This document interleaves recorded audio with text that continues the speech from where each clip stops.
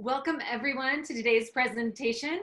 I love how those of you who've been joining us on previous sessions today recognize that the music was not playing on that, um, on that video.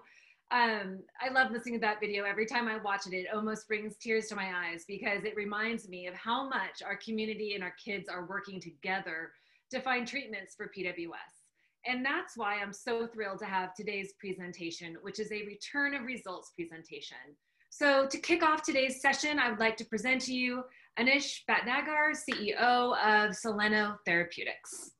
Thank you, Susan. Um, my name is Anish Bhatnagar. I'm the CEO of Soleno Therapeutics, um, also one of the physicians involved in uh, the DCCR development program at the company. Um, really thankful to FPWR for giving us the opportunity to speak here today. And also um, shout out to Susan for the amazing job she's doing keeping this train running. It's a challenging time with all of uh, what's going on. Um, the, the format for today, we were going to take about an hour of your time. Um, I'll speak a little bit about the rationale for DCCR and its uh, the design of the Destiny PWS study. Um, Dr. Miller will talk about the results of the study. And then uh, we'll have Larry Bauer speak with us for a few minutes. Larry has spent uh, more than a decade at the FDA uh, in the rare disease program, and his passion really is bringing patient and caregiver voices to drug development. Uh, his group in Washington has been very helpful to us in DCCR development uh, until now. So what I'd like to do is, um, this is my disclaimer slide, we are a public company. Um, what I'd like to do is just take a minute to talk about Soleno for a second. So Soleno is a company based in the San Francisco Bay Area. We're in a place called Redwood City. When we are in our offices, that's where we are. Uh, Soleno was formed with the sole purpose of taking DCCR through phase three development and approval. And that really is our singular focus at this time. We are really thankful to uh, the PWS community for all the help and all the work that's gone into this program. And uh, as you will see, uh, a lot of good seems to have come out of it. So I want to start uh, the, the presentation with this slide, which is not directly related to DCCR and is not new. You may all have seen this in the past. This is from the PWS Natural History Study. It was done many years ago at several institutions in the US. Um, and what this shows you is insulin levels in patients with PWS. What you see on the left slide is that the fasting insulin levels are actually not very high in PWS. But postprandial insulin, which is insulin after you eat, is actually dramatically elevated to the extent that in these patients who may not even have high BMI, it's elevated to the extent of these patients who have morbid obesity. So this led to the thinking that there may indeed be the possibility that a drug that reduces secretion of insulin could actually have beneficial effects on PWS. And that's exactly what DCCR is doing. Uh, DCCR is diazoxide choline controlled release. It's in a tablet form. Uh, it is based on a known parent molecule called DCCR, which is not approved for PWS, and I'll talk about that in a second. But DCCR is given once a day. It's a tablet. It provides a stable level of the drug in the circulation for an entire day. Diazoxide, which is approved today for a single rare indication called hyperinsulinism, is not approved for PWS and for good reason. Uh, there are several reasons why it's difficult to use. It has a long bitter aftertaste. It's very hard to dose an oral suspension, uh, but it does have about 40 years of history to teach us more about diazoxide. The most prominent reason why diazoxide is nearly impossible to use in a situation like PWS would be the PK profile, or what happens to the drug when you give it to someone. The graph that you see on this slide is the comparative profile in a study that was conducted with DCCR and proglycem, which is the currently approved version of diazoxide. The red line is proglycem, so when you give someone diazoxide today, there's a very sudden rise in blood levels of the drug, which you can see in this red line. What this does is it can have a quick effect, but it also has a lot more side effects. In addition, diazoxide is bound to proteins in the blood. So it's very quickly taken up from the circulation. So in order to achieve a high enough level of diazoxide in the blood, you have to repeatedly dose it during the day at these high levels. and put the person at significant risk for these side effects.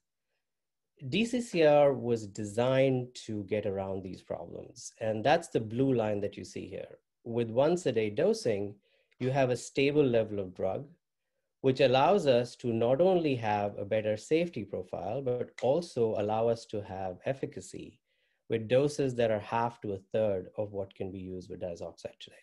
So these are the data that you'll see going forward. Um, the question is, how does DCCR work? Why does it work? So DCCR acts on a channel called the ATP-dependent potassium channel, also called the KATP channel.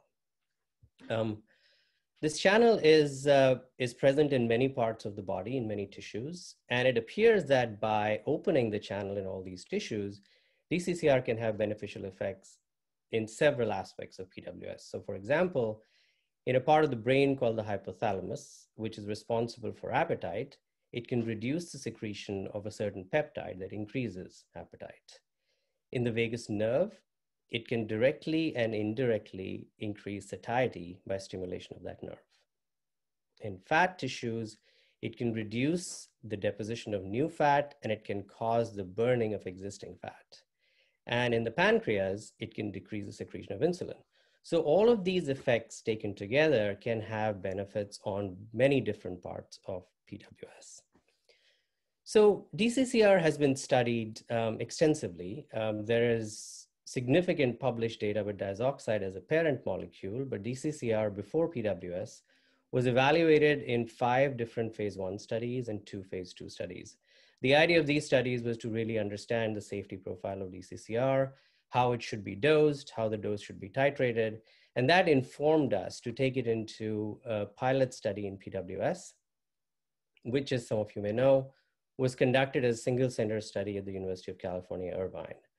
Uh, the results of that study are published and what they showed was significant reductions in hyperphagia, loss of body fat, increases in lean body mass, and reductions in aggressive behaviors.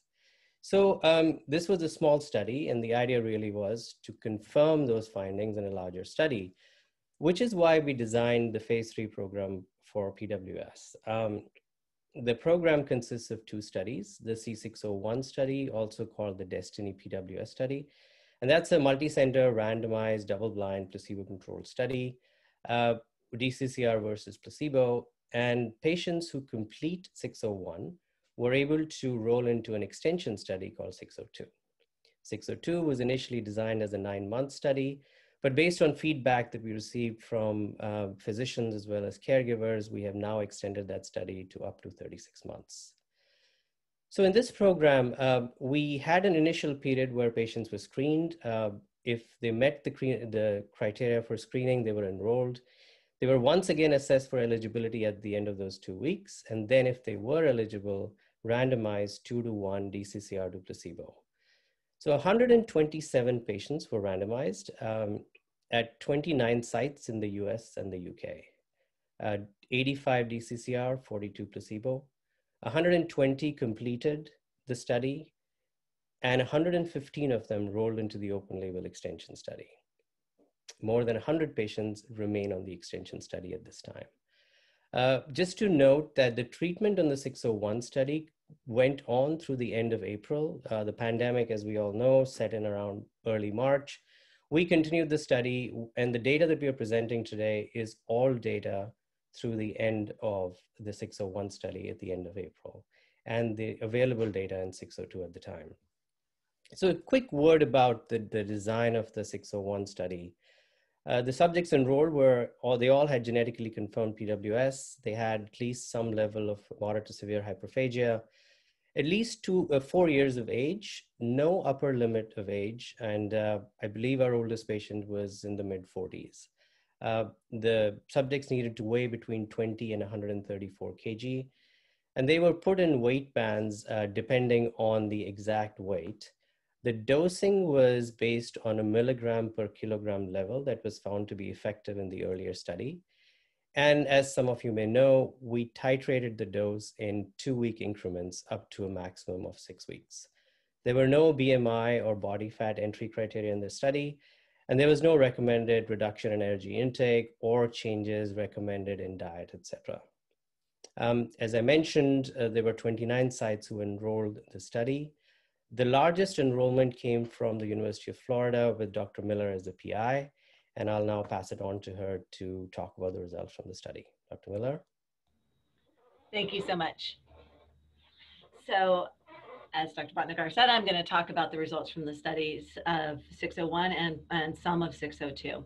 So this first slide just shows the characteristics of the people that were enrolled in 601 um, drug versus placebo and it basically shows that there was no differences overall in any of their baseline demographics between those who were randomized to receive drug versus placebo in the 601 study.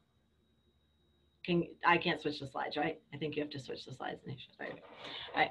Um, so this was the primary endpoint, which was change in baseline in hyperphagia questionnaire score from baseline to visit seven or week 13 in 601. And what you can see here is that while there were declines um, on DCCR in the hyperphagia questionnaire score during that time, there were also some placebo responders and had the, who had some decline in their hyperphagia questionnaire score as well. It was more um, significant in those who were on DCCR, but overall, the differences did not meet statistical significance between DCCR and placebo. So one of the reasons that we thought that might be was because, you know, we it's well known that in individuals with neurodevelopmental disorders that there's a really strong placebo effect in studies. Um, especially treatment studies you know people really want something to help their child. And so you know we knew from the previous zafgen study which was done many years ago that in adults that placebo response lasted about two weeks. And so for this study there was a two week placebo run in um, to try to ameliorate that placebo response. But what this slide shows is that that placebo response actually stuck around for a while and it starts to go down around week four and as you can see by week 13, the placebo response is virtually extinguished with a, a, significant difference in hyperphagia questionnaire score between those who received drug in green and those who received placebo, um, with a more significant decline in those who received drug versus placebo. So this graph shows you that data in sort of a graphic form, um, which I like. Um, so what you see on the far left is the primary endpoint data that I just showed you, where you can see that there's no real statistical significant difference between those who are on drug and those on placebo at the end of 601. But Soleno had identified some um, pre exist or some identif- some pre-identified subgroups of hyperphagia questionnaire score. So 13 to 19 above 20 um, and so to see if there was any difference in the degree of hyperphagia and response to dccr and what this graph shows you very beautifully is that indeed there was. So those with the higher baseline hyperphagia score had the most decline on dccr um, versus placebo. And so you can see that those who had a hyperphagia questionnaire score over 20 at the beginning, which is really what you should have to be in nutritional phase three. You have really significant hyperphagia, and you, those people had a really significant response to DCCR that was statistically significant. The higher the hyperphagia score at baseline, the more response they had to DCCR. And you can see that in those who had the highest baseline hyperphagia score of greater than 22, they had an almost 10 point reduction in their hyperphagia questionnaire score, which is virtually unheard of. I've, I've done a lot of studies. We've never seen anything this um, profound. Next slide. This is a waterfall plot showing the same idea that um, the more significant change you had in your hyperphagia questionnaire score, so the more you improved, the more likely you were to have been on drug versus placebo. Next slide. And these are the individual questions from the hyperphagia questionnaire score. And what you can see here, there are nine questions, and what you can see is that eight of the nine DCCR exceeded placebo in terms of responsiveness of decline of score. The one that I think is the most important here, and the one that struck me the most, was question seven, which is how often did the person try to steal food? So, you know, we've done a lot of studies and, and I can tell you that in, in studies that are ongoing and studies that we've done before, you know, one of the things that, that we hear when people are answering this, this question is, well, yeah, they stole four times two weeks, you know, the last time we answered this, but now they've only stolen once in the past two weeks. But but boy, it was a doozy. You know, they cleaned out the cabinet. They ate 10,000 calories all at once. You know, we found all this empty stuff under their bed. And so, you know, it just didn't feel right to me. It didn't feel like a real decline in hyperphagia if they were still getting into food and eating that much calories. And, and one of the most profound things I think that I saw in this study was that while there was an improvement in the overall score, there was an improvement in sort of the quantitative, qualitative nature of the food stealing. So they would steal a piece of bread instead of a loaf of bread. Or my, my favorite story was the girl whose dad stocks vending machines for a living and had a box full of M&M bags in their garage. And she stole and ate one of those M&M bags, which her mom counted as one episode of food stealing during the past two weeks. And I did not because I would have taken one of those bags and eaten them. So I don't think that really counts as a Prader-Willi behavior, but whatever. Um, but it was that kind of thing. It was that, so it was this, both this, the sort of quantitative number decline, but also this sort of qualitative, you know, decline in the degree of food seeking, seeking that we saw. Next slide. So the secondary endpoints that were used um, for this study were the clinical global impression of improvement at visit seven. This was done by the um, principal investigators at each site. Um, and then we also looked at DEXA data, looking at body composition, um, lean muscle mass and fat mass. And then there was a caregiver global impression of change that was done at week seven as well, um, which was the individual's parent or caretaker um, assessing how things had gone during the study and you can see that, oh, sorry, he switched too fast on me. Um, but you can see that both the, the um, investigator, clinical global impression of improvement, and the DEXA data had statistically significant responses on DCCR versus placebo now you can switch. Um, this is the clinical global impression score. Um, and so this is the one again that was done by the investigators. So this was done by us as the PIs talking to the families, you know, interacting with the kids, kids watching, listening to what the families were saying. And what you can see here is that it was pretty clear to investigators who was on placebo because they rated nine, about 90% of those on placebo as having no change during the 13 weeks of the trial. Whereas those on DCCR had more improvement um, during the course of the trial. And this, this was sort of a general question. This was a question about just the kid, the Prader-Willi itself, um, and and not anything really specific. So this was our impression as investigators of of how the kids had changed or not changed during the study. And as I said, you can see that it was um, significantly improved on DCCR versus placebo. This is the caregiver one. And as you can see, and as I mentioned, it is not statistically significant. And you can see that there's a trend towards improvement on DCCR versus those on placebo. But overall, there was a lot of responders that said that they didn't see a change. I really, I've thought about this a lot, and I really think that there's a couple reasons for this. One is that um, the drug was slowly titrated up during 601, and I think when you're dealing with a titration, you know, sometimes the the um, effects are a little bit more subtle a little bit more slow to sort of come on and be noticed. But the other thing I think is that I really believe that a lot of parents go into trials wanting their kid to be cured you know, they want to get rid of the Prader-Willi syndrome. And so and this was, again, this was a very general question. How is your kid's Prader-Willi compared to what it was when, when you started the study? And so, you know, one of, I, I could tell you a million stories about why I think this is, but, you know, what I was thinking of today when I was talking to another physician was that, you know, this other doctor had seen one of my patients in clinic and his note was just raving about how awesome this patient was doing and how she was so great and she had lost weight and blah, blah, blah. And mom had no complaints it was a complaining mom. She had no complaints. Um, and so I was, I was thrilled. And I said to the mom when she brought the kid in a couple weeks later, I was like, oh, so she's doing really good. And she's like, she's okay. I don't really see anything. And I was like, are you serious? You know, Dr. So-and-so said all this stuff. And she was like, well, she's still got Prader-Willi.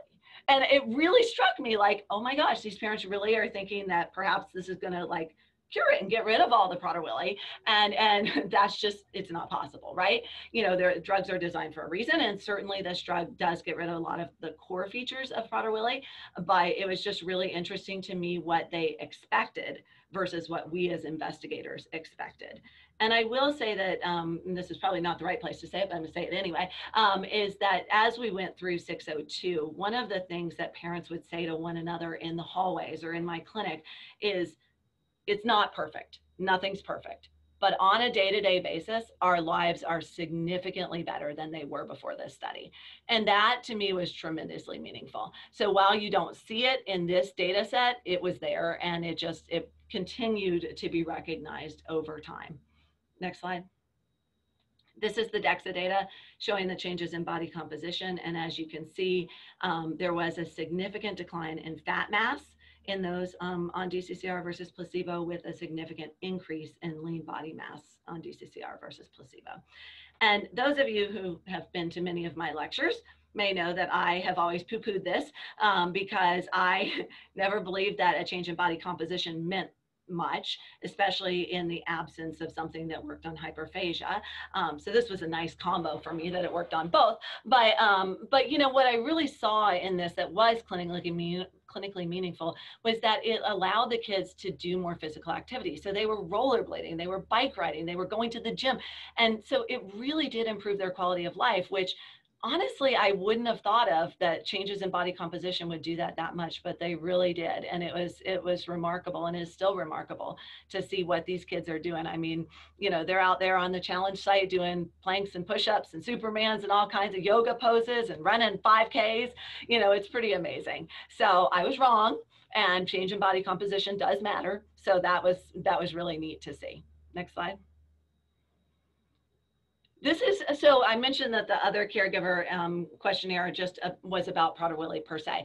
This is um, the caregiver questionnaire about change in food related behavior. So they sort of pulled out overall Prader-Willi, overall behavior, overall food behaviors.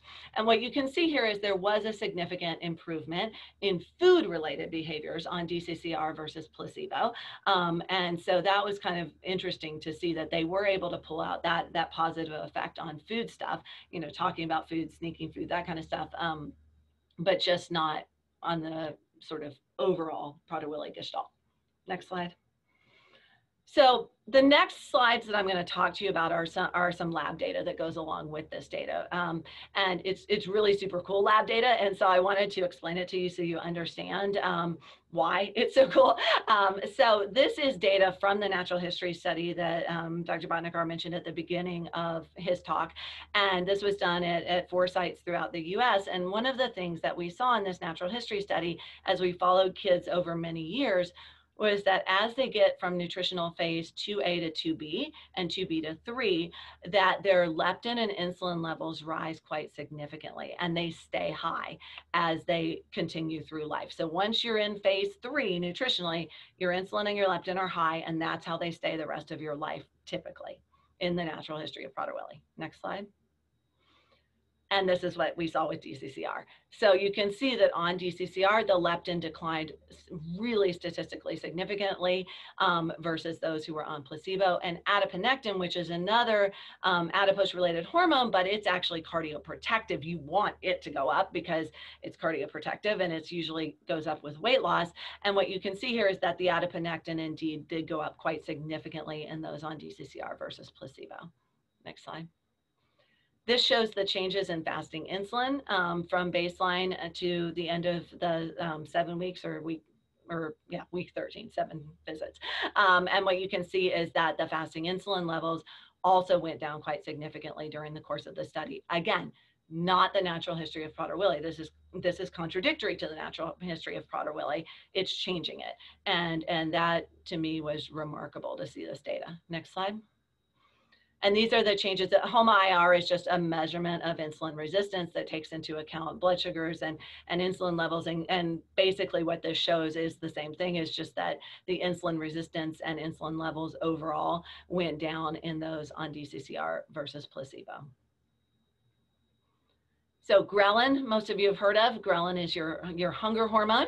And you can see here that on DCCR, total ghrelin um, decreased versus placebo and acylated ghrelin, which is the active ghrelin, which makes you more hungry, really decreased versus placebo. Um, and unacylated ghrelin, which is actually the one you want, it's the cardioprotective ghrelin, went up slightly on DCCR versus placebo. So, so that was really amazing to see that all this lab data really correlated very strongly with the data that we were getting on, you know, the questionnaires and on the DEXA scan and that kind of stuff.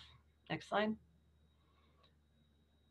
Um, so then 602, as, as Dr. Bhatnagar mentioned, um, started after the 13 weeks of 601 was completed. People were offered the opportunity to roll into the open label.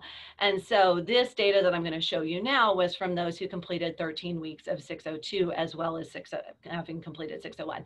So there are some people in this group um, who um, who uh, had completed six months of being on DCCR. So they've been on DCCR during 601, and then they continued on it during 602. And there are some that had completed three months of being on DCCR at this point. So they had been on placebo during DC during 601 and transitioned to drug during 602. And so the numbers are a little bit smaller because as he mentioned, 601 did not complete enrollment and, and analysis until the end of April. So, so by the time this data was analyzed, there weren't quite as many patients who had completed 13 weeks of 602. Next slide.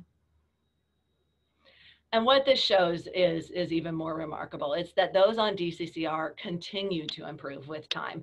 So over the next three months, you know, they had gotten significantly better on DCCR in terms of hyperphagia questionnaire score, but they continued to get better over the next three months of 602 with their scores going down by an average of like 48%.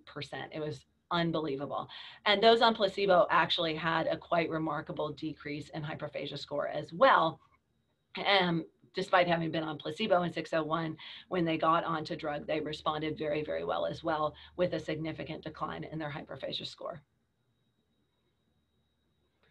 So this slide shows, you know, the, the um, change at sorry, this slide shows the change in hyperphagia questionnaire score. And what it shows is that basically the longer you're exposed to drug, the better your, the more significant your hyperphagia score decreases. So that you can see that by this, you know, by 13 weeks or, or I'm sorry, by three months or six months on DCCR, almost everybody is below the line, which means that they've had significant improvements in their hyperphagia questionnaire score on DCCR.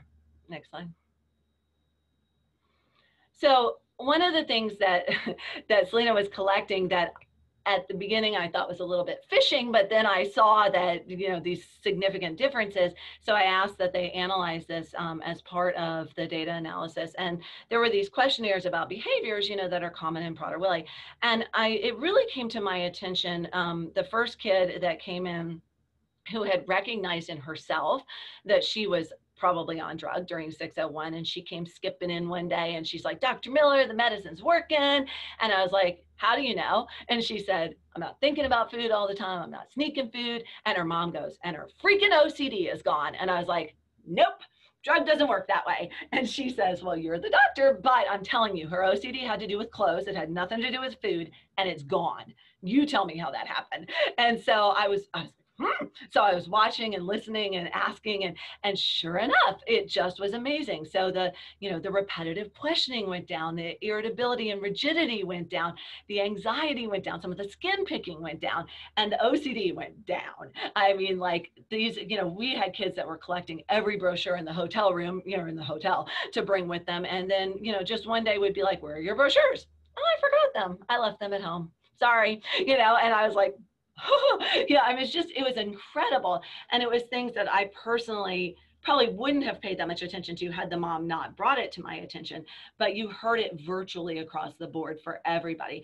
And what I could really see is, and I promised a mom that I talked to on Tuesday that I would tell her story because it's a great story.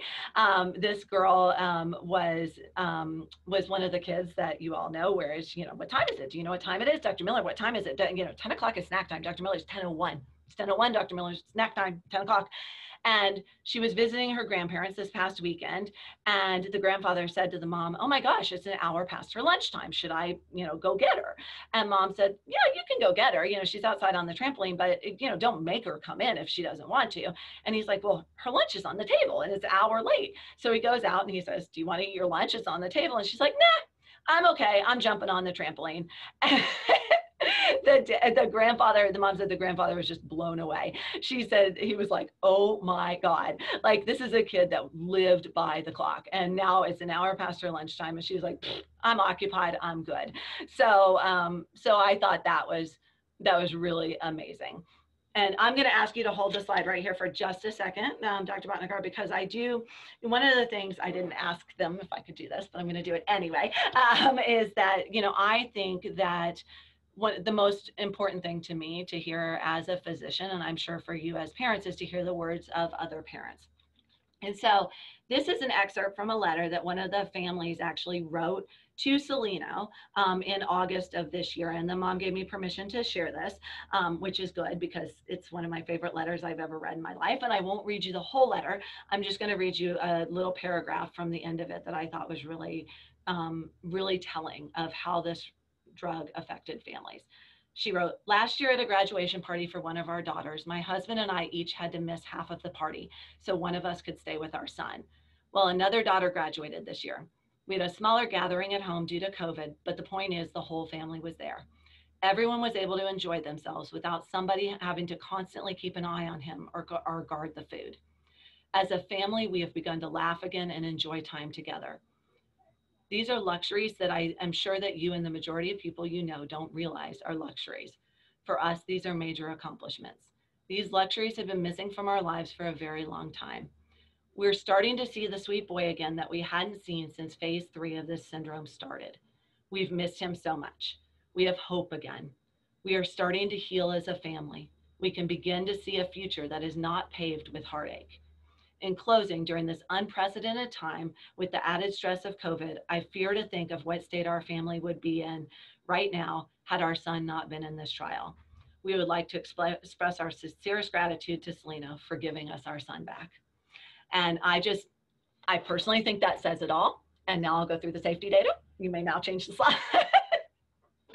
um, and so this is the safety data. All drugs, as you know, and you all who are my patients hear me say this a thousand times, every drug has risks and benefits, and, and it's all about weighing the risks and benefits. And so this drug um, had a well-known safety profile, as Dr. Bhatnagar indicated, and, and the most common side effects from the drug are known to be increased body hair growth or hypertrichosis, um, edema, specifically um, lower leg edema, um, and hyperglycemia or high blood sugars.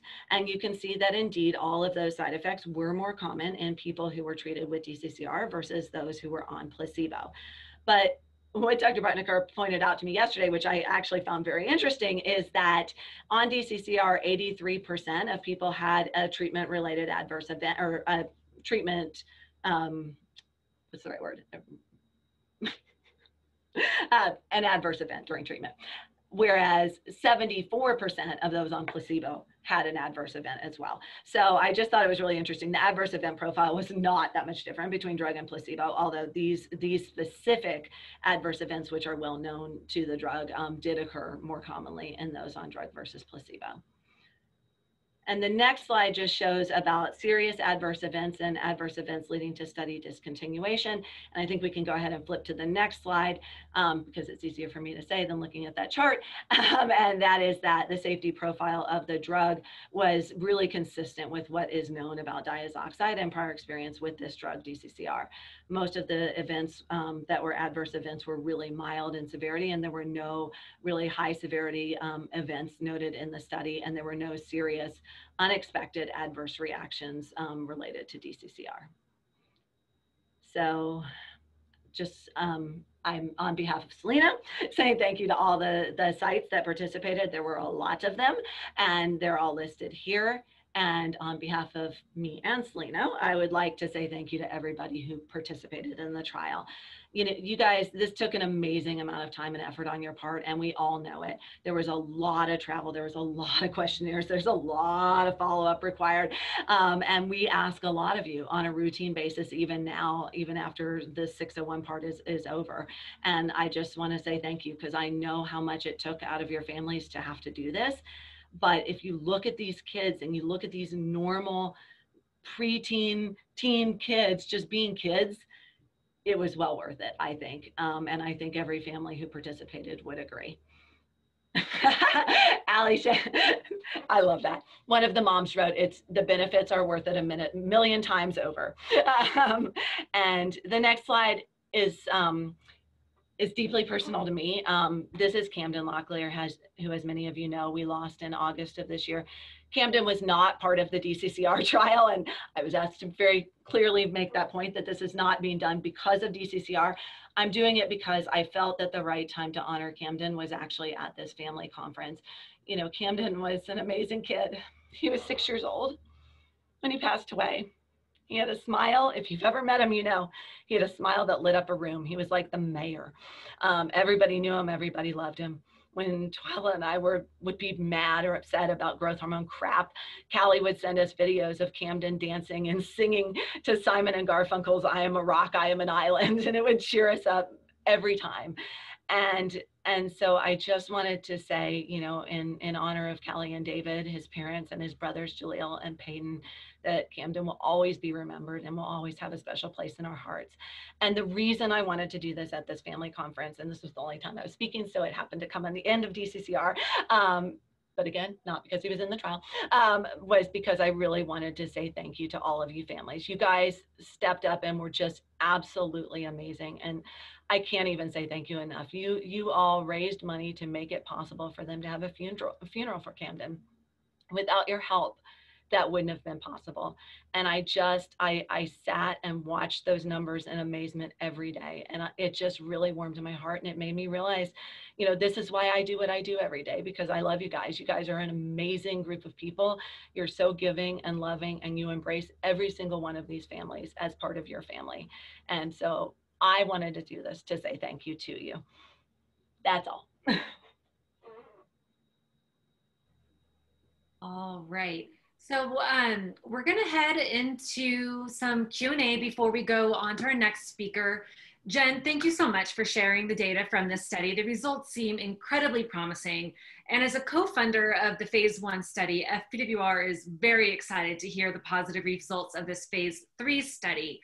Um, and to that end, uh, you know, it was our community who really chipped in to make that co-funding of that phase one study possible. So not only has our community helped in participating in this study, but they actually helped get it off the ground as well. So thank you again to everyone who has had such an active role in making this study happen. Um, with that, let's go to Q&A. The questions are coming in. The first question we have is, at what nutritional phase would you begin to introduce DCCR? Is this something that you're recommending for those who are already in phase three, or could this be something as a, that could be used as a preventative? So I think, and I'll let Dr. Bhatnagar speak to this too, but personally, I think that right now it should be used for individuals who are in nutritional phase three. I think that the data remains to be found for those who are in earlier nutritional phases to see if indeed it would prevent the onset of phase three. And also, yeah, I mean, these are growing, developing kids we're talking about here. So we do want to, I think, need to do more studies in kids in those earlier nutritional phases to make sure it is safe and, and potentially efficacious in that in that group of children. Dr. Bhatnagar? Agreed. Uh, this study was designed to be in, in subjects who had moderate to severe hyperphagia, pretty much nutrition, nutritional phase three. So at this time, that is indeed the case, but as Dr. Miller pointed out, there's some really interesting data on the biomarkers that could represent an interesting opportunity for us to study in earlier stage disease, but uh, at this time, no. Um, so looking at the data, it seemed that patients experienced benefits um, the longer they were on the drug from your study, can you estimate how long a person um, should expect it to take to see full benefits? I, I think every family's definition of full benefits is probably different, right? I mean, every family has their own unique issues. You know, this is not a boxed population that everybody's the same. So I, I can't answer that. I mean, I think that that everyone is a different person, and so um, you know, all I can say is that families, you know, through the course of all of this, you know, as we've continued on 3602, you know, they all just continue to say, I can't imagine how we would have handled COVID without this. Like, I know what my kids used to be like, and I know what they're like now, and I just can't imagine how we would have lived through this. um, so, you know, I I think that you know it's it's really hard to say. Mm-hmm. And in follow up to that question, how long did it take for the drug to begin to take effect? So as parents are hopefully getting on the drug when it gets, if it gets approved, we're hoping it gets approved. how long should they expect it to take before they can they start noticing improvements just to, for expectation setting i mean i would say i would say two to three months probably but really by six months so a person needs to expect to if they if they start a prescription that they need to stay on it long term and not give up on it well, you know, one of the reasons the drug was titrated, and I think this is more of a question for Dr. Bhatnagar, but I, one of the reasons it was titrated was um, to try to prevent, you know, side effects from the drug. And I think that that is going to be the way it is going to be, would be prescribed as well. Is that correct? Yeah, I think uh, we typically tend to prescribe the way we do the phase three study. And I think the rationale for doing the way we did it worked because the adverse event profile was actually very acceptable. So I think um, the data suggests, as, as you're saying, Dr. Miller, that you take two to three months to start to have an effect, and by six months, pretty much everyone should be seeing an effect. Uh, but I think we will want to maintain the titration in this way, at least for now, while we gather more safety information. Were there any uh, obesity requirements for participants to participate in the study? No. And will there be any obesity requirements for prescriptions? Also, no. Also, no. That's a concern that I'm, see- I'm seeing a lot in, our, in the Q&A is, you know, my son or daughter is not obese. Will that preclude us from access?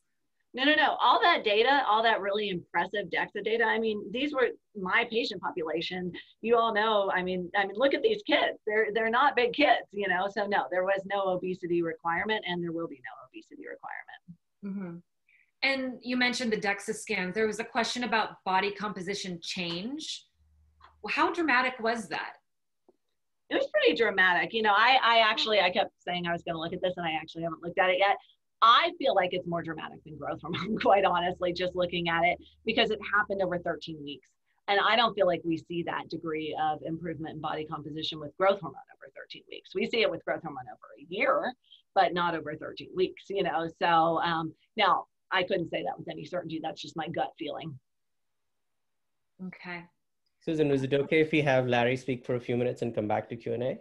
You know, it is. And I think that's a really great idea because a lot of the questions that we're now having come in are regards to the timeline and application to the FDA. So um, Larry, if you're ready, let's, let's get you on board. I can go ahead and start while Dr. Bhatnagar is setting up. Yeah, um, so, so my name's Larry Bauer, and it's a pleasure to be with you all today.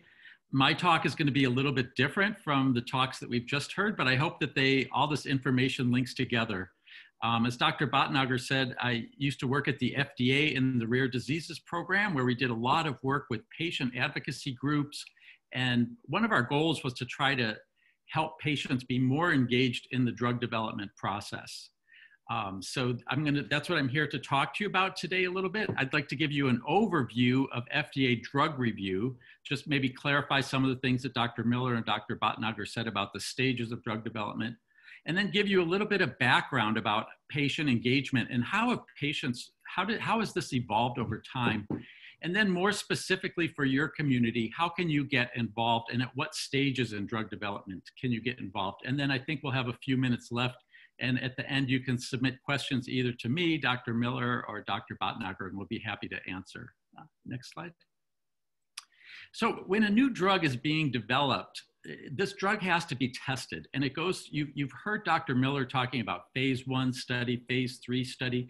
So i'm just going to go kind of quickly through what these are. So when a drug is first developed data for the first kind of data is preclinical so this is before it goes into human beings it's an exploratory phase and it's often done either in test tubes or we do animal studies to see how animals react to the drug once we have that initial safety data we move into phase one so at phase one, it, it's, it's a phase to determine the safety and the dose of the drug. So before they give it to patients, sometimes the drug is, is given to healthy volunteers. People volunteer to be in a study where they try to see how is this drug metabolized in the body. And then after you have that initial safety data, it goes to phase two. And in phase two, this is when it's actually tested in patients with the disease. We want to learn more information about how effective the drug is, and we test the safety a little bit more in small numbers of patients with the disease to get some, some additional safety data. Safety data is actually collected at every phase of drug development. Once we have that initial effectiveness data, we go to phase three, where we confirm effectiveness by giving it to a larger number of people with the disease. We, we look carefully at the side effects when we give it to more people. Are there certain side effects that show up more often? And in general, like I said, it's given to just a larger number of patients.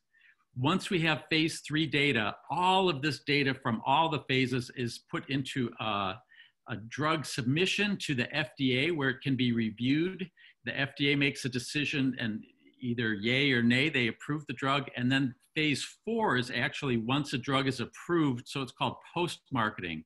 So after the drug is approved and available, we continue to monitor safety and side effects, sometimes giving it to more people, new side effects or, or you know, might emerge. Uh, next slide. So how does FDA review a drug? So in this package, all this data is submitted to the FDA. The FDA organizes teams of reviewers to review the chemistry of the new drug. How is it manufactured? They look at the, the non-clinical data, so that's the animal data, and then they review all of the clinical data.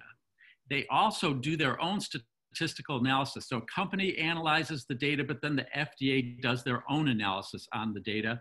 And they try to make a determination, like Dr. Miller mentioned, about the benefit risk evaluation. So do the benefits of this new drug outweigh the risks? Some people ask how long is an FDA review? So once this data package is submitted, there's two types of review. It can either be a standard review, which is 10 months long, or in some cases, it can be a priority review review, which is four months shorter. So it's a six month review, and it's for drugs that would provide a significant improvement in treatment, diagnosis, or prevention of a serious condition. And the FDA makes that determination what kind of review it will be within the first like two months of looking at the drug. So you might be asking yourself, why does it take so long? And the thing is that the FDA takes their job very seriously. This FDA review is the last step in the development of a drug before it becomes available on the open market, available for physicians to prescribe it. So they're kind of like the last gate that a drug has to go through, the last place that you can kind of evaluate this drug. Next step. So once a new drug application submitted to the FDA and it's under review, the only place for patients to really contribute to the process at this point is if there's an advisory committee. Now, I have to, a caveat is that every drug review does not have an advisory committee. Sometimes yes, sometimes no. Um, so when FDA is reviewing the data submitted, they're going to consider the totality of evidence when deciding whether to approve a new drug. This means they're going to look at every piece of data that's, that's been submitted to them um, for a drug like DCCR, for instance, it, it impacts several different aspects of, of Prader-Willi syndrome. We just heard Dr. Miller talk about all these different measurements. Uh, you know, there's, you know, body measurements, there were lab values, uh, different rating scales. So the FDA is going to evaluate all of this, and then they're going to make a decision based on the totality of evidence. Um, and this data that's submitted, it includes both objective and subjective endpoints. So an objective endpoint is something that you can measure reliably. So reduction in body fat mass, that's something that you measure, you get a number, and it's an objective data. You can't, it, it, there's no fluctuation. It's just an objective data. Same thing with a lab value. It's, it's an objective, something that you can measure. There are also subjective endpoints, these are things that maybe are a little bit more qualitative. They might take a little bit of more judgment or have opinions, like, for instance, the perception of hunger. That is a, a, a subjective endpoint. And the FDA will consider both objective and subjective endpoints in their evaluation. So the FDA looks at the possible benefits of this new drug when they look at the data, and they compare them to the possible risks or side effects of the drug it, when they're doing this evaluation of benefit and risk, they also look at how serious is, is the disease, what other treatments are available to people with this disease, and how effective are the current available treatments for people with the disease. And this all helps them to evaluate. So in a, in a, a group of patients where there's still a lot of unmet medical need. Maybe the treatments that are out there just don't really do that much to help. That really goes into the FDA's decision about whether or not to approve the new drug. Uh, next slide. So now I'd like to talk, talk a little bit more about how patients have become engaged in the process of drug development. So historically, the patient voice was not included in drug development. Drugs were developed by scientists, by physicians, and patients were not included in the discussion. This took a major turn in the 1980s when we uh, were all living through the AIDS epidemic and AIDS activists demonstrated outside the FDA. Uh, you know, young people were in their 30s, 20s, and 30s were dying at an alarming rate. There were no available treatments. And people, you know, these groups had sit ins at the FDA and they had put up signs like, time isn't the only thing the FDA is killing, you know, it's killing us as well. Well, this really got the FDA's uh, attention. And so the FDA invited people from these groups to have a seat at the table to give input into drug development. And since that time, stakeholder engagement and patient engagement has become a priority at the FDA. They really want patients' voices to be heard at the beginning of drug development and throughout the process. They feel that patients are the experts on their disease and they can help inform things like how to design the study, what are risks that the people with this disease will tolerate? And what are some of the symptoms that are most important to patients to be treated? And only patients and their caregivers really understand what's most important to them. Uh, next. So, how can you get involved specifically? Well, the first thing is that the Prader-Willi uh, community has a great thing that you have the Global Prader-Willi Syndrome Registry. This is an awesome tool that will help scientists and doctors understand the course of the disease. It's, it's helping to map out the natural history of Prader-Willi syndrome. Um, if you do get involved in this registry, we hope that everyone completes the information accurately and keeps it up to date so that we have the most reliable data as possible. And if you haven't joined the registry yet, there's information about how to join at the Foundation for uh, Prader-Willi Research website. Um, another thing you can do is participate in clinical studies. We, you know, we just reviewed a major clinical studies and these studies cannot happen without your participation. So please, if there's any way you can consider enrolling in a study, that would be very helpful. Um, it, you can help scientists, clinicians, and drug developers understand what is important to you. You know, by participating in studies in the registry, you continue to support the scientific development of new treatments for Prader-Willi. On the side, you can be educating your family, friends, and physicians about the disease. And maybe most importantly, it, which I know you're already doing, is but support each other and your patient advocacy groups that are out there representing you. Uh, next slide. So how has the Foundation for uh, Prader-Willi Research supported patients and caregivers? You have a wonderful advocate in Dr. Theresa Strong, who's the director of research at, at FPWR. She's a member of a, a group called the FDA Patient Engagement Collaborative. This is an initiative by the FDA to engage with outside groups to help FDA understand how patients can be engaged in drug development and review. There's only about 16 people on this collaborative, so Prader-Willi's so fortunate to have a representative like Dr. Strong. And then interacting with the FDA, a couple historical things. In July of 2015, there was a Prader-Willi Clinical Trial Consortium workshop where they discussed opportunities and key challenges for current and future clinical trials. And you can see a summary of this on the FPWR website. And then in November of 2018, there was the PWS Clinical Trial Consortium that had a 90 minute meeting with the FDA called a critical path innovation meeting. This meeting was with staff from the FDA, and it was to help educate them about things like the unmet medical need in Prader-Willi syndrome. How do we define hyperphagia? You know, there's different ways of talking about that. What are some of the tests and measures that are used in research studies? And all this information can is going to help uh, drug developers to come up with better ways to um, design studies for Prader-Willi. And the summary of this meeting, once again, can be found on the FPWR website. Other ways to interact with FDA, there's something called a patient-focused drug development meeting. These were started by the FDA to uh, gather information from patient and caregivers about the disease symptoms, daily impacts, the treatments they use, and hopes for the future.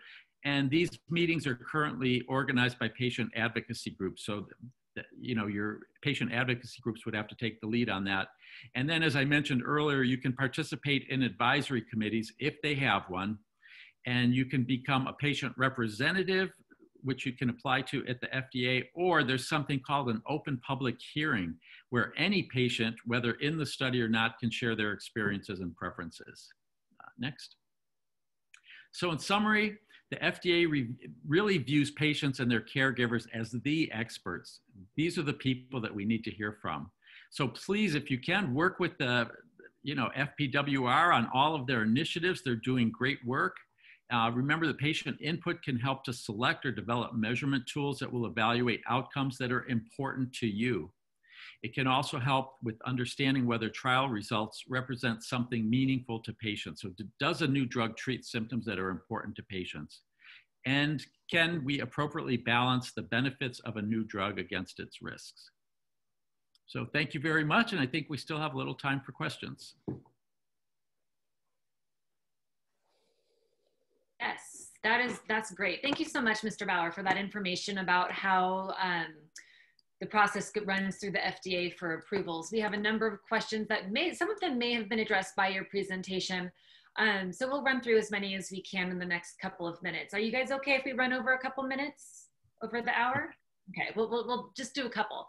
Um, how about body composition for adults? Um, adults that are finished growing in their 20s and 30s, would we expect to see an improvement in body composition, composition for those individuals? Oh yeah, we saw a great um, improvement in body composition in those individuals with or without growth hormone on board. Because remember, this this study wasn't age limited in, in terms of an upper age limit, so there were adults in the study. Great. And as far as the timeline, you mentioned six months with a fast track approval for the FDA to approve. When do you anticipate that review to begin? Tough question. Um, you know, we uh, we have said publicly that we will be uh, we expect to meet with the FDA in the latter part of this year, and we still expect that to be the case. The timeline really depends on what happens at that meeting. Um, as Larry's pointed out, there's different paths this uh, review can take. So we have to get agreement from them, and then we'll see. We'll certainly keep the community updated on that. Mm -hmm. This was an international study with some trial sites taking place in Europe. Um, what's the plan for getting a, a new drug or uh, indication there?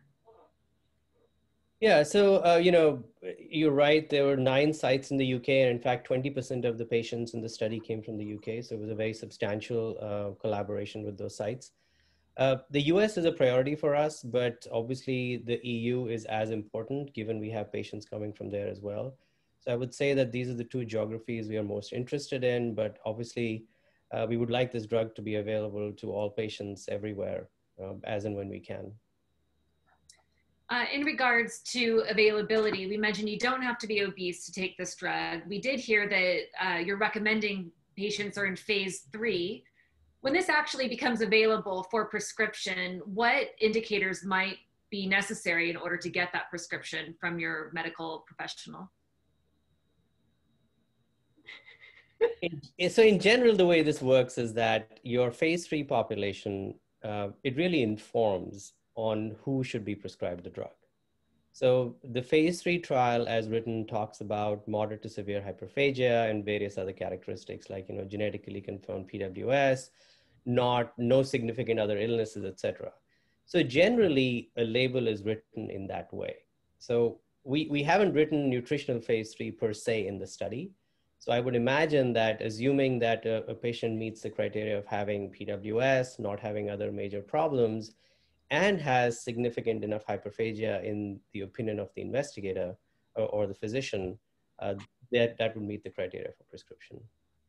So um, how to phrase, you wouldn't see on the label so there's indication that you can prescribe for. Prader-Willi is an indication, but hyperphagia phase three, is that a indication or is that just professional um, opinion? So what you're talking about the label for the drug, what is it indicated for? Right. Um, that's something we don't know today. That's something that you determine with the FDA over the review process. So the FDA will look at our data, they will look at the inclusion criteria in the study, and they will work with us to figure out what the most appropriate way of defining the patient population is. But their motivation is the same as ours and of the community, which is we should be able to define who will benefit from this drug, and that's the patient who should get it.